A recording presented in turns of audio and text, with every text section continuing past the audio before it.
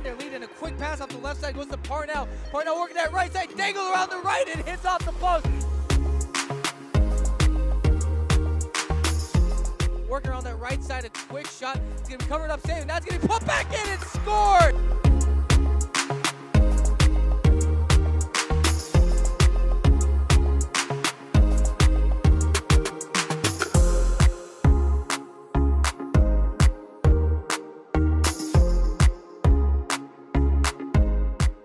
Demi Cooper working that left side, a quick shot opportunity scored.